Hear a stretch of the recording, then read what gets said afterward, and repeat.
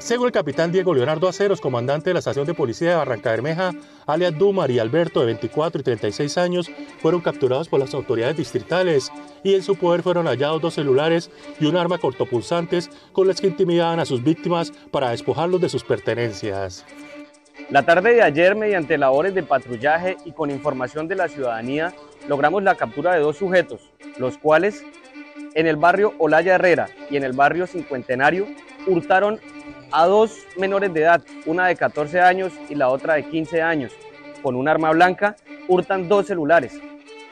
En la Y de Santana, en el sector conocido como la Y de Santana, se logra la captura de estos dos sujetos, la incautación del arma blanca, la recuperación de los dos celulares y la incautación de una motocicleta, en la cual estos sujetos a bordo de ella cometían los ilícitos en toda la ciudad.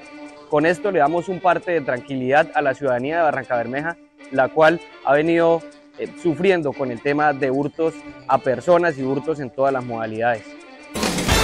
Una mujer residente en el barrio Bucarica denunció que fue víctima de un conductor de un taxi quien la habría atropellado a ella y a su mascota, como se observa en un video de cámara de seguridad del sector.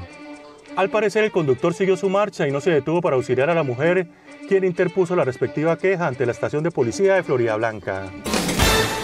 Mucha atención que una mujer fue asesinada en el sector rural del municipio de Landazuri. Al parecer el homicidio se suscitó tras una violenta riña en la vereda Plan de Armas, en donde un hombre le habría disparado a su propia hermana y a su compañera sentimental. La primera murió en el lugar de los hechos y la otra resultó con heridas. Las autoridades se pronunciaron sobre esta grave situación de presunto feminicidio e intolerancia.